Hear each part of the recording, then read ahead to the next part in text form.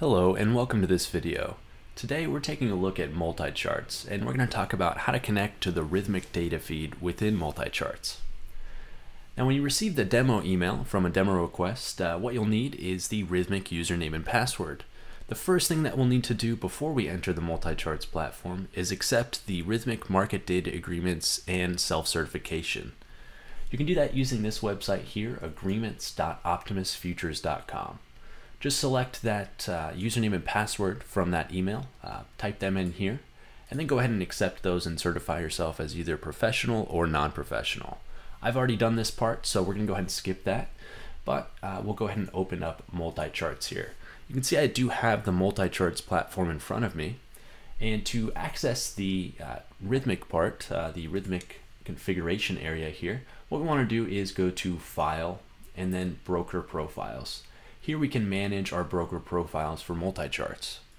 If I select that option here, you can see that I have a few that are uh, inactive currently. You may have some that are uh, here as well. What we want to do at this point is go ahead and select new. Now for a live account, you would select Rithmic01, but if you're using a paper trading account from one of those demos, go ahead and select Rithmic Paper Trading.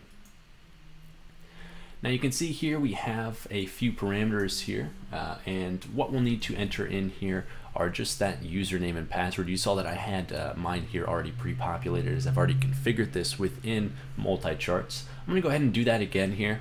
I'll just go ahead and uh, type those in here. I do recommend that you type these in manually and do not copy and paste. Um, sometimes when you copy and paste there can be extra characters that are inserted and they can result in a login failure.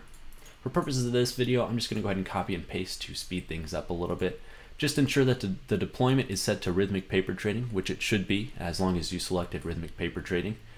The other thing you'll need to do is select the uh, lookup button here for the trade route. Uh, it will be blank by default here. Uh, we'll select the simulator trade route for a demo option here. And then I'm going to go ahead and select OK. Now once we do that, we should be configured here for Rithmic Paper Trading.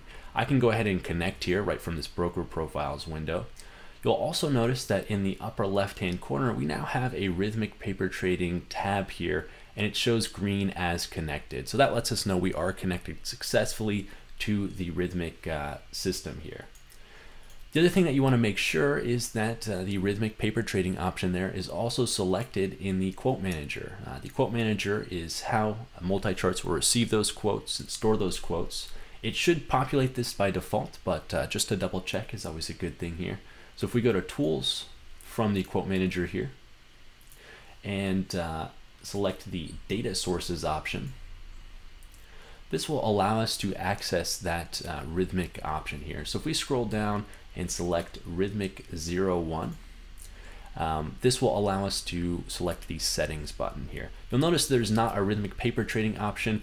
All of the Rithmic uh, quote manager here or quotes um, that we need to connect to uh, will be configured within this Rithmic 01 inside the quote manager. So if I select Rithmic 01 and then select settings, you'll see that, that my uh, username is already populated and it's actually already set to Rithmic paper trading for me.